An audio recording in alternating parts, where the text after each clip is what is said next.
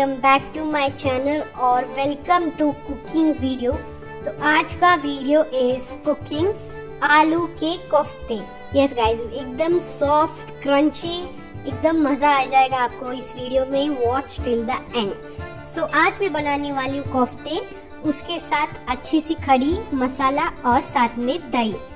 Look at this guys this are so spongy and crispy sponge के साथ ये crispy भी है।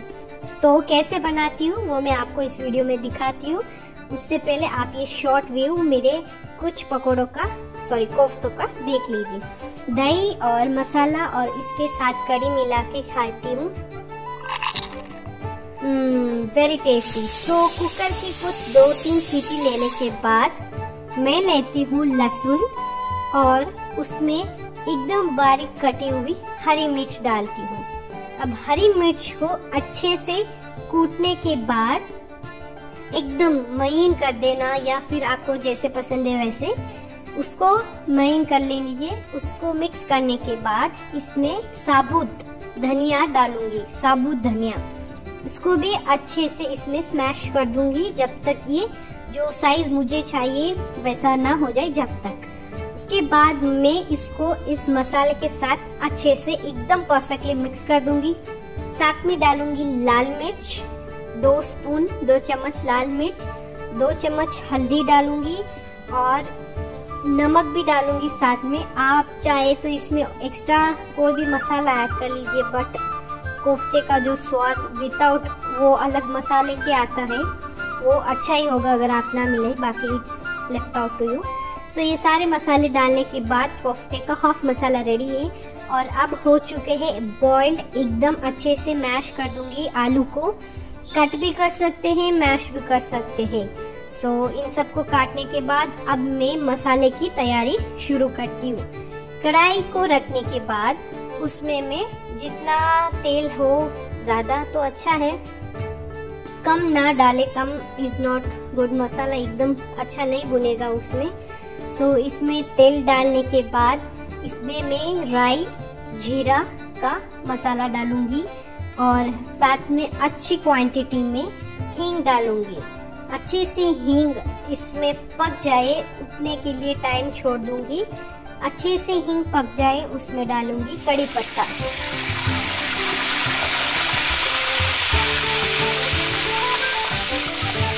अब कड़ी पत्ता अच्छे से इसमें बॉईल हो चुका है।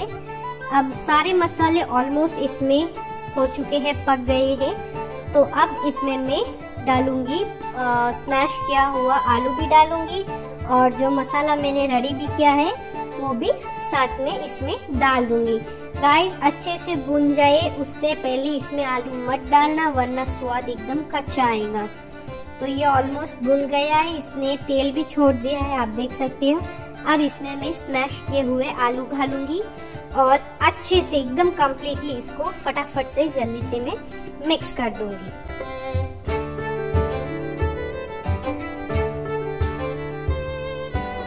अब मसाले को अच्छी तरह से मिक्स करने के बाद अब हम इनको कोफ्ती के शेप में देंगे, जो है राउंड शेप में। तो गाइस राउंड शेप बनाना बहुत आसान है। जैसे मैं इस वीडियो में आपको दिखा रही हूँ, वैसे ही आप अपने फिंगर्स की मूवमेंट को कीजिए तो वो अच्छे से राउंड शेप में आ जाएगा। और कोफ्ते बनाने की राउंड शेप देने के लिए हाथ में ऑयल या घी लगाने की ज़रूरत नहीं है। मसाले में इतना घी या फिर तेल होगा तो वो आपके हाथ में ऑटोमेटिक आ जाएगा और राउंड शेप में बन जाएगा कुछ इस तरह से। तो कोफ्ते को शेप देना भी हो गया, मसाला भुनना भी हो गया। अब हम इनका बैटर बनाएँगे, गोल बनाएँगे। तो मैंने ले लिया है दो कप बेसन। अब बेसन का बैटर बनाऊँगी। उससे पहले मैंने अपना मसाला रेडी कर दिया और उनको राउंड शेप में भी दे दिया है। तो अब मैं पानी डाल के हाथ से मैश करूँगी ताकि उसमें लम्स ना हो और वापस चेक करने के लिए मैं स्पून लेके चेक कर लूँगी। सो so गाइस अब है इनको तलने की तैयारी।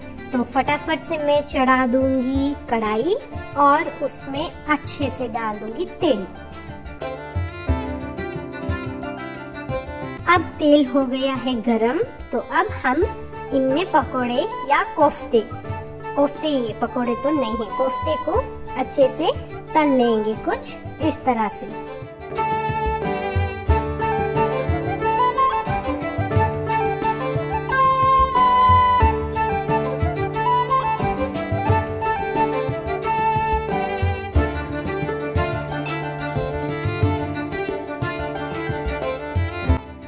तो गाइस कमेंट में बिलो किस किस को ये वाले छोटे छोटे जो बूंदी टाइप होते हैं पसंद है। सो गाइस वो वाला प्रोसेस कंप्लीट हो चुका है और हमारे कोफ्ते इज़ रेडी टू ईट ये कुछ इस तरह से दिख रहे हैं या दिखते हैं। तो मेरी साइड से तो ऐसे ही दिखते हैं।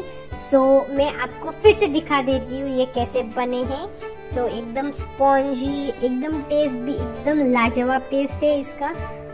इसमें आप पाव भी आता है वो भी यूज़ कर सकते हैं। बट मुझे तो ऐसे ही अच्छे लगते हैं। दही के साथ अच्छी वाली खड़ी के साथ कड़ी के साथ। सो so, मुझे तो ये टेस्ट बहुत अच्छा लगा है एंड होप आपको भी ये वीडियो अच्छा लगा होगा। So guys don't forget to like share and subscribe to my channel and keep watching videos and subscribe the channel. Thank you.